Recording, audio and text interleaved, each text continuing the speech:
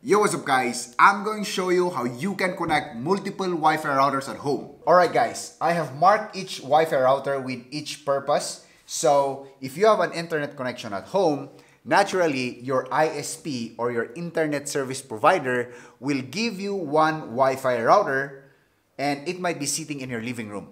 The problem would be it might not be able to reach some parts of your house. So you would think of adding additional Wi-Fi routers like basement Wi-Fi, then attic Wi-Fi. Now, I'm going to show you, like what I've said, how you're going to connect all of these ones so that you will have a smooth Wi-Fi connection from each part of your house. Okay, so as you can see, there's nothing connected to these ones yet. It's only this ISP Wi-Fi router because your internet service provider needs to plug you into the network like what I have here. So this one has the internet connection. We're not going to configure this ISP Wi-Fi router. The only thing we need to do is get the IP settings so that we are going to configure the Wi-Fi routers that we're going to connect that will be compatible with the current configuration of the ISP Wi-Fi router. So this is already pre-configured by your ISP or your internet service provider. Okay, so no need to configure this one. All we need to do plug my computer here, check the IP settings that I can get, and then we are going to get that information and use that information to configure additional Wi-Fi routers in the same compatible way that it can interconnect with this router. All right? I'm going to plug this one to my laptop.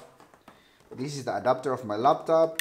Go there and then plug it to the any ports here.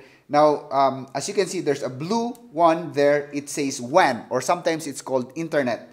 This is where they plug the internet. We're not going to plug it there. We're going to plug it to these yellow ports, or what we call the LAN ports, all right? I'm going to plug it there, and then jump into my laptop. All right, now that I'm in my laptop right now, what I need to do is, since there are other Wi-Fi connections here, I need to turn this one off, okay? Uh, you can see that I'm connected. This icon says that I'm connected via LAN cable. So I'm just going to go to the search bar and type in CMD. What I need to know here is the IP settings. So I'm going to go IP config. All right. Now, what we're looking here is something that says Ethernet adapter Ethernet. Now, if you try to read this one, it says Ethernet adapter Bluetooth. That's not what we're looking for. We have VMware. That's my virtual machine. VMware, that's wireless LAN, that's my wireless adapter. So go up and you can see Ethernet adapter, Ethernet. Now, the only information we need from our ISP router is the default gateway, which is 192.168.0.1. That means to say that this Wi-Fi router's address is this uh, IP address. And that's what we only need here. Once I know that one, take note of that because if you try to type that one here, I'm going to show it to you we can access this router by typing 192.168.0.1. Okay, so it requires me to log in, but I'm not going to log in because I don't need to configure this one.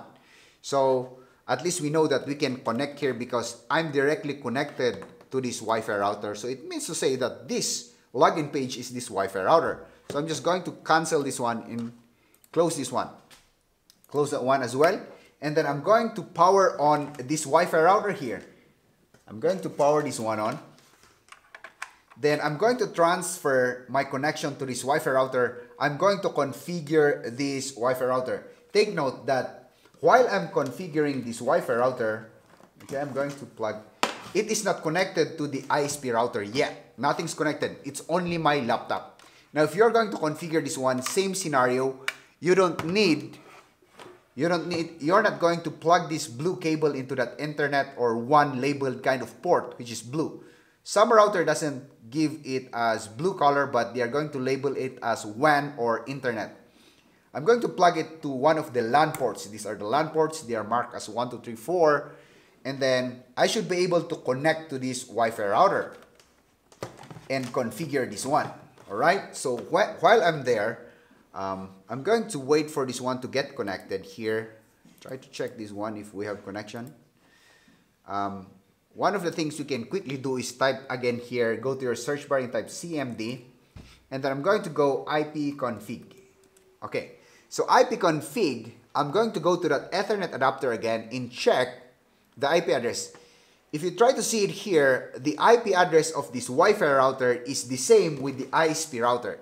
Now, if we're not going to configure this one and directly plug it to our Wi-Fi router here from the ISP, this will give a conflict between both and it will ruin your internet connection. You'll not be able to have Wi-Fi connection. So that's the reason why we need to jump into each Wi-Fi router and configure it first before connecting them together. Okay, so what I'm going to do here guys is jump into my web browser and type again 192.168.168.0.1 because they have the same IP address. Alright, so as you can see, this is the login page for this one. In some cases, if you are sure that you know the username and password of a Wi-Fi router, uh, you can just go ahead and configure this one. But if somebody have configured this one before, naturally, they might have changed the username and password so you'll not be able to log in. Since you're going to use this one for a purpose of reusing it to your house, then we are going to do a full factory reset for this one. Now, if you turn this one at the back, you can see a button here, a hole, actually a hole, that says reset. You need a small pin to push that uh, uh, button there, uh, that hole button. If you're going to press that one for several seconds, it's going to do a factory reset with this one, change, uh, putting every setting to its factory settings. So I'm just going to go here and show you the lights. Okay, if you can, if you can see the lights here, uh, you, you need to observe that one and that's the normal kind of light indicators that you have there because if you're going to push the button at the back, once the lighting is going to change, it means to say that it will go factory settings. I'm going to push this button here, hold it, I can feel that it's pushing, and take note of those light indicators if it's going to change. Okay, it turned off and it went back on. So that's what I'm saying. You know when you see it. And I'm going to release that one and this will do a full restart. Okay, so we need to wait for this one.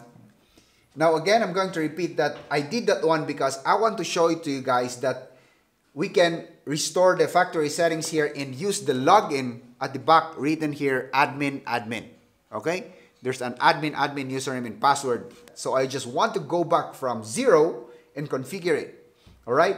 So I'm just going to refresh this one if we can still okay? We're back okay? I refreshed it one and 0.1 so I'm going to go admin.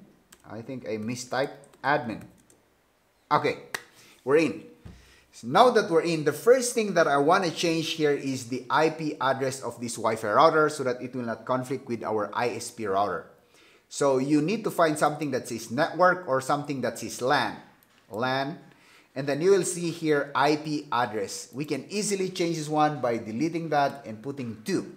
So this would be that 0, uh, that 0 dot 1, that 0 dot 2. So I'm just going to go ahead and save.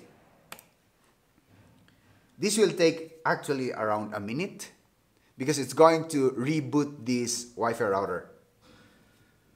And we're going to wait, of course. Now, the next time we're going to log in here, guys, is this should be changed to that 2. That will be the IP address of this Wi-Fi router.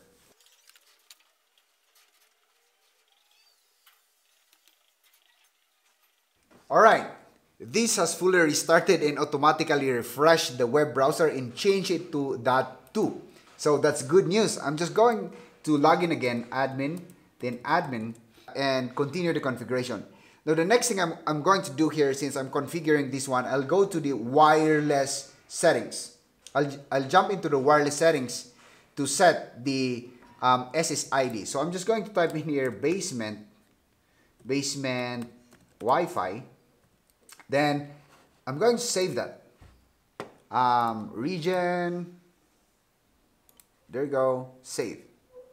All right, the next thing is the wireless security. Make sure you have a good password. So I'll just make it basement so that it would be easy for the sake of this demo. And I'm going to save it. All right.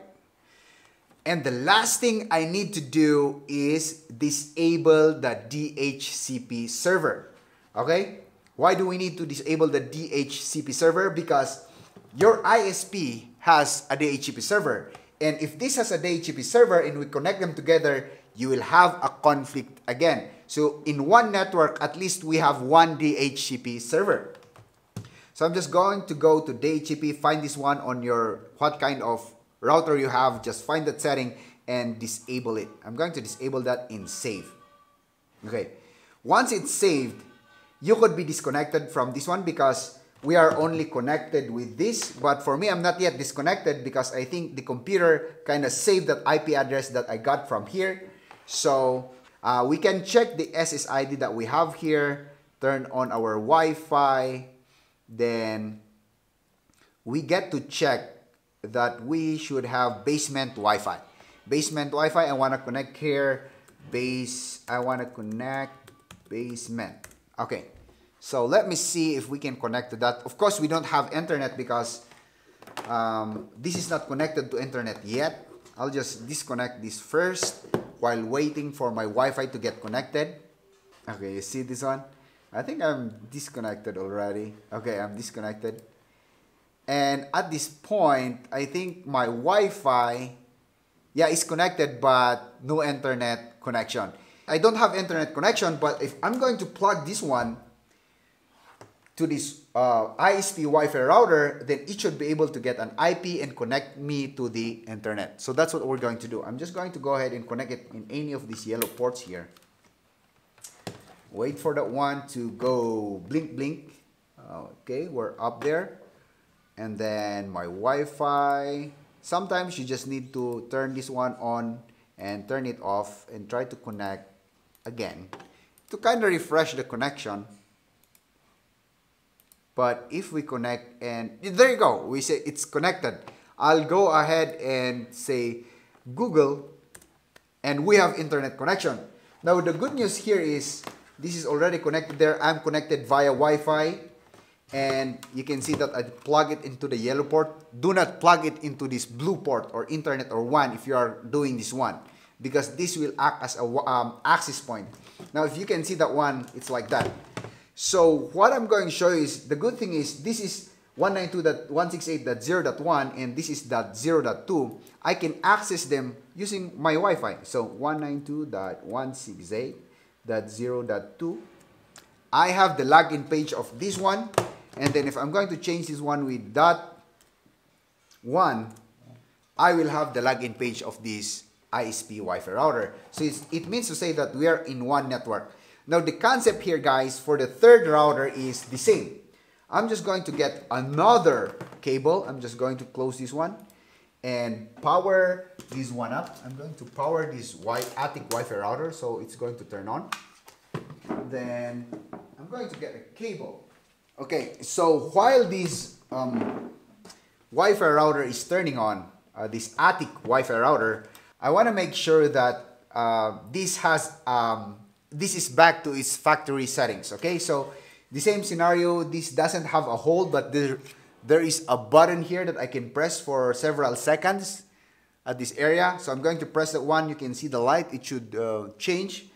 Press for several seconds and how long? Okay, that's the blink blink. I'm going to release that. By the time this goes to power back on, it should be on its full reset mode. So I'm just going to go back. That should go back to its factory settings. I have another cable here. Again, like what I've shown you guys.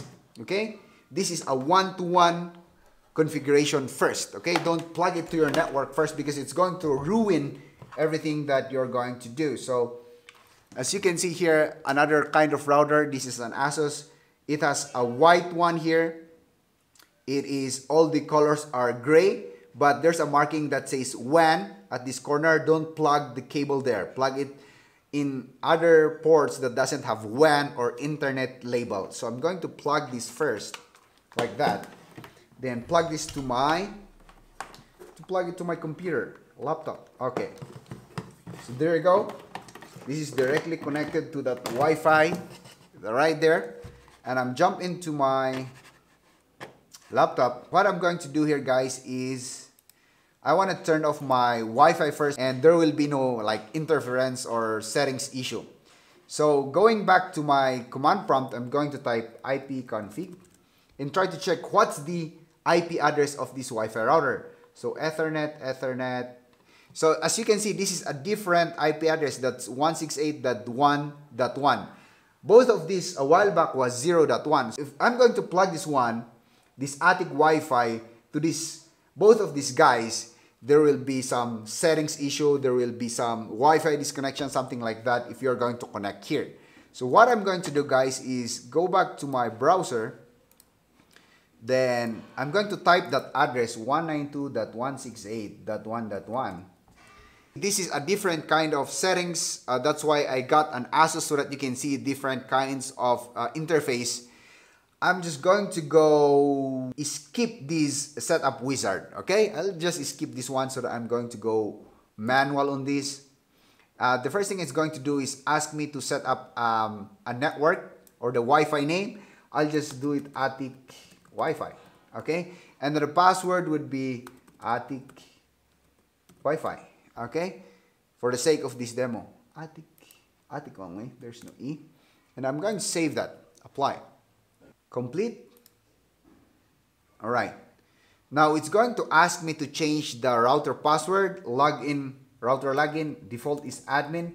It's asking me to set a new password, admin12345, and then admin12345. For the sake of this demo, again, make it a little bit difficult if this is your Wi-Fi router. Okay?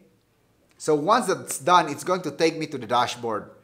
All right um, since we already set up the Wi-Fi SSID for this, we can already see, should see Attic Wi-Fi right here. Okay, Attic Wi-Fi is there, but we're not going to connect because we're going to configure it straight up with this one. So just turn that off to make sure that we are only configuring this one. Now you can see that the, the interface is different, but most of the settings are the same. So the wireless settings, we already set that one up. It asked us to set the settings right away. So we don't need to go there. What we need to do is jump into LAN and again, change the IP address. So you try to see this is 192.168.0.1. This is 0.2. We are going to change this one with 0.3. So I'm going to put 0.3. And then I'll just go ahead and apply. And then of course it would say, okay, this will take time again and the next time we log in, you try to see this. This is 1.1, this should be 0.3. So as you can see the percentage. Alright, so you can see here that uh, the LAN IP RTN12 is changed to 0.3. That's why it's showing us this one. What we're going to do is change this one with 0 0.3. Alright, and then we go enter we are in the login page of the Asus Wi-Fi router, admin, and then admin 12345, enter. Then there you go, we're back here. And always remember, we are going to disable the DHCP server. You cannot see DHCP here, so um, sometimes it is inside LAN settings. So you can see it here, LAN IP and then DHCP server. Click that and then enable the DHCP server. No then we get to apply. All right? And then we get to wait for it to be applied and then we'll be ready to remove this cable from our uh, computer. Okay, that's 100% complete. We don't need to go back there since that's already configured. All what I have to do is get this one, plug it to basement Wi-Fi. We, if your attic is closer to your basement, then you will have a shorter cable to plug it here. But if your attic is closer to your uh, ISP router, then you plug it to your ISP router in any of these ports, okay? So I'm going to plug it there. Now, this should have internet connection. You can see I'm not plugged via cable. You have basement Wi-Fi, I have attic Wi-Fi, and then you have your ISP Wi-Fi router. So I'm just going to go here and then go to my Wi-Fi, turn it on, I'll connect to the ISP Wi-Fi, I mean attic Wi-Fi to check. So we are on basement Wi-Fi. We are uh, connected right away. I'll just check Google. Yes, of course, we have Google or YouTube. Okay. The next thing I'm going to do is check my uh, change to attic Wi-Fi. Where is my attic Wi-Fi? There you go, attic Wi-Fi is there. I'm going to click that, connect, and then I'm going to type in my password, which is attic Wi-Fi. We should be able to connect and have internet connection. There you go. We are connected, secured. Got to refresh our YouTube. There go. We still have. We go for Google. We still have. Now, you can go ahead and cable this one to your basement and then you go ahead and cable this one to your uh, attic or any part in your room. Now that's how simple you can go ahead and configure this one. These are the things that you need to do. You need to make sure you're going to change the IP address of the router so that's going to match the uh, so that's going to be compatible with your ISP router. The same with the uh, second one. And then configure the wireless settings and then lastly, disable the DHCP server so that it will not go conflict with your ISP Wi-Fi router. Now, the question is, some people might ask, how about if we do it, if we connect these ones wirelessly? Okay, number one, I have a video here on my YouTube channel on how you are going to do that one, but I basically don't recommend doing wireless connection from one Wi-Fi router to another because of reliability, it depends on how strong the signal from one room to another. The big thing that you can have if you're going to do it wired is you will maximize the speed that you have because you have a dedicated line going to one Wi-Fi to another Wi-Fi. Now, if you're going to connect this one wirelessly without using cables, you're just repeating the signal and you will lose some of the speed that you have. Okay? So anyways, if you still want to do this one wirelessly, you'll find one of my tutorial on how to do this one wirelessly on the description below. Alright? So I hope you have learned something from this video guys. And if you have any comments and questions, drop a comment down below. If you are new to this YouTube channel, please subscribe, share this one, like this video, and help me make a dream of 500,000 subscribers. I want to see you in my next video. Bye-bye.